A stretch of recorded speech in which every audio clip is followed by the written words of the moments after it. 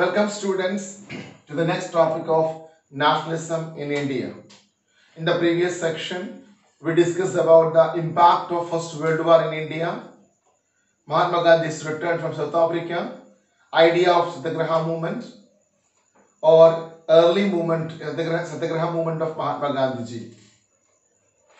And in this chapter, we'll discuss about Rowlatt Act, Jallianwala Bagh incident, and Khilafat movement. After the success of three movements, Champaran, Kheda, and Ahmedabad, Mahatma Gandhi ji decided to launch a nationwide Satyagraha movement against the proposed Rowlatt Act in 1919. Please note the timelines. In 1919, Gandhiji decided to launch a Satyagraha against the proposed Rowlatt Act, which is called as the Black Act. What is this Rowlatt Act? Why it is called Black Act? Who proposed this? This law proposed by Sir Sidney Rowlatt in 1919. He was a judge. And this law provides the British government enormous power to suppress the political activities in India and allow detention of the political leaders, put it in the jail for two years without trial. Mahatma Gandhi called this law as unjust law. That is why he decided a non-violent civil disobedience against this. So he organized a hartal on 6th April 1990. What is the meaning of hartal? Hartal means strike. Dear students, I hope you understood what is Rowlatt Act. What is the significance, importance of Rowlatt, Rowlatt Act. Rowlatt Act जो introduce किया है Sydney roll Rowlatt एक जज है and ये लो government of British को पूरा power दे रहा है पॉलिटिकल एक्टिविटीज़ को सप्रेस करने के लिए बंद कराने का कोई भी तरीके से and are able to arrest without any trial means there is no scope of uh, appealing the court and all अगर किसी को आपको पता कोई किसी को अरेस्ट किया जाएगा तो कोर्ट में पेश करना है। यहाँ पर ऐसा कुछ नहीं है। For two years they will be in jail nobody will ask दो साल के बाद अगर ज़िंदा आ गया तो आगे, नहीं तो फिर लंगड़ा लंगड़ा कोई भी है, कोई पूछने वाला नहीं है। That was the law that is why it is called as unjust law Mahatma Gandhi इसके लिए घोषित किया है सिक्स अप्रैल 1919 हड़ताल। And rallies organise shops closed workers went on strike on, in railway shops workshops and uh, etc and british officials also scared because the uprisings because they need the workers they're scared that their communications communication lines means uh, railway railway as well as telegraph will disrupt that is why the authorities decided to clamp down the movement. So they try to try to arrest the local leaders. They picked up the local leaders from Amritsar and uh, they barred Mahatma Gandhi from entering Delhi on 10th April 1919. The police fired a peaceful procession in uh, Amritsar Amritsar में एक आराम से एक rally जा रहे थे procession जा रहे थे तो उसमें जो पीसफुल था उसी पे फायरिंग किया है and provoking the people started violence they started to attack on the police station as well as railway station government offices bank etc whatever symbolize the british authority सबको करना शुरू कर दिया that is why the british authority they imposed martial law what is martial law martial law means जो आजकल का जो 144 जैसे थे you are not allowed to form any associations organization anything there is no gatherings and uh, general dyer took the command general dyer के बारे में बोलेगा तो he was a cruel person Indian history में अगर नेशनलिस्ट मूवमेंट के time में देखे तो ही मतलब portrait as the cruel person वो क्यों है आगे बताएँगे and he became the commander in chief On 13th April 1990, the infamous Jallianwala Bagh incident happens. Number of people, many people, Baishagi festival था, many people gathered in the grounds enclosed ground. Many people uh, they came for the Vaishakhi festival, just celebrate the Vaishakhi festival. And these people were from the interior villages of Punjab. Punjab का Indian village से आया है they were unaware of this martial law उन्हें पता भी नहीं martial law के बारे में just they wanted to spend their time enjoy their time in this mela Vaishakhi festival. Some people were there. They discussed about it. They were nationalist leaders or the freedom fighters, you can say. And these people they discussed about the repressive measures of the government and all. Somebody informed this General Dyer that this about martial law and this the uh, this place in this place people are gathered and discuss about you and uh, all and this person the cruel Dyer he entered in the ground with his soldiers closed the door there was only one exit and entrance that was closed and they started firing and hundreds of people murdered think about the condition of the people they were there is no choice to move here and there the exit is closed. They started firing. It was a brutal killing, we can say. Number of women, children, the people, all died. And got international attention also. That is why um, uh, this uh, Dyer also called called back to England and started court martial. Court martial means जो authority को जैसे कि क्या बोलेंगे army and air force वगैरह में जो भी अथॉरिटी में जो अगर गलती किया है तो उनके लिए एक जैसे ट्रायल होता है उसको बोलेंगे कोर्ट मार्शल देर उसने उसने ये मार्शल ने क्या सॉरी जिसने डायर ने क्या बोला पता है बोला कि yes I wanted to produce a moral effect this wanted to terrorise the this satyagrahis create a create a terror in the mind of satyagrahis and an erv erv means awe awe erv का मतलब क्या बोलेंगे इसको awe में लिखा है लिखा है एव इसका मतलब feeling of respect just wanted to create a और एक टेरर भी पैदा करना चाहता था। डर पैदा करना चाहता था और रेस्पेक्ट करना पैदा करना चाहता था कि जो सत्यग्रही का मन में दैट वाज मतलब he never say sorry sorry नहीं कर पाया this was incident and the news spread news spread about this Nalin Malabar crowds took the street of the North Indian uh, towns पूरी तरह से स्ट्रीट्स जो आपका north Indian town का street पूरा कब्जा में आ गया। And there were strikes clashes with the police they started to attack the government offices they destroyed the government offices banks railway railway station uh, police station etc they started to destroy government also they started brutally they act they brutally they act british people british police they uh, crawled the people in the, uh, in the streets and also forcefully rub the nose on the ground सत्याग्रही इसको बोला कि जो अपना रब करने के लिए nose रब करने के लिए कहा है।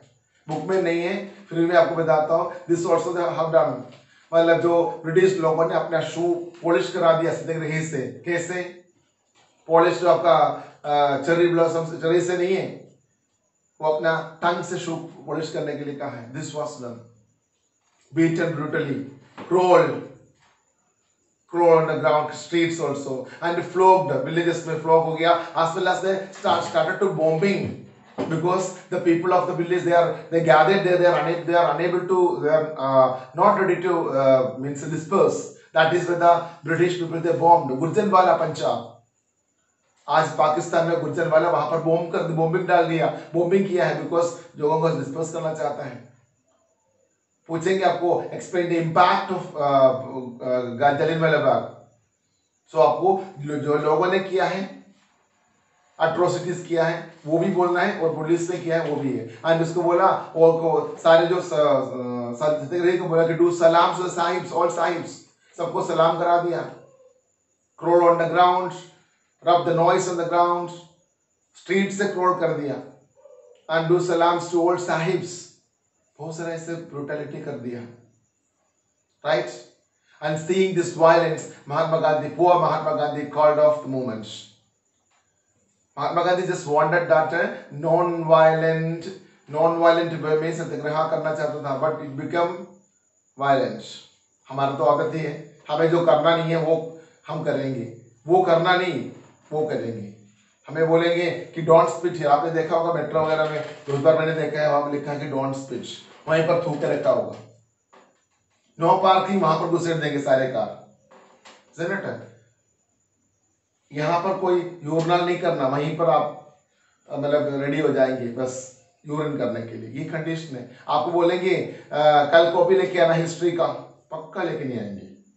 This is the attitude of the Indian people mostly so that is why Mahatma Gandhi ने बोले नॉन वायलेंस वायलेंस शुरू हो गया। एनीवे महात्मा गांधी वायलेंस उसको जो मूवमेंट को कॉल ऑफ़ कर दिया then Mahatma Gandhi decided that so this Rowlatt attack तो थोड़ा अच्छा सा स्प्रेड हो गया था but it was limit also many not many cities this this act का जो सत्याग्रह और हड़ताल सब कुछ हर स्टेट में हर विलेज में या आपका हर सिटी में स्प्रेड नहीं हुआ सो महात्मा गांधी डिसाइडेड कि अभी मुझे क्या करना है I wanted to unite the Hindus and Muslims because that time Hindus and Muslims of India were not united.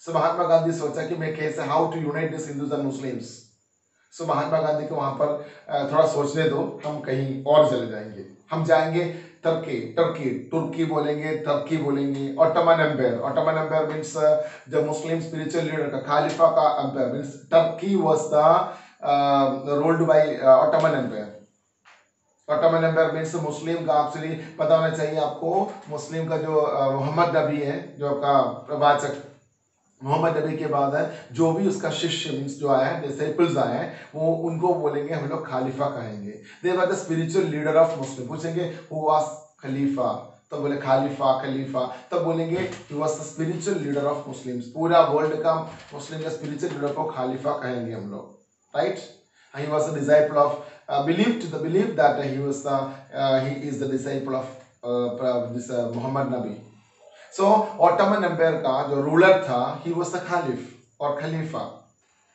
जो फ़र्स्ट वर्ल्ड वॉर में वो हार गया. डिफीटेड बाय ब्रिटिश ब्रिटिश लोगों ने क्या कर दिया? नेगो समझौता कर दिया negotiation that was the harsh treaty मतलब जो आपका समझौता में कुछ हार्श ट्रीटी कर दी। मतलब जो power of this Ottoman Empire reduce पूरे मुस्लिम वर्ल्ड में ये हंगामा बच गया। हाउ इट पॉसिबल हमारा खालिफ का पावर डाउन करना it's not possible so all were against British उसका झलक इंडिया में भी मिला है।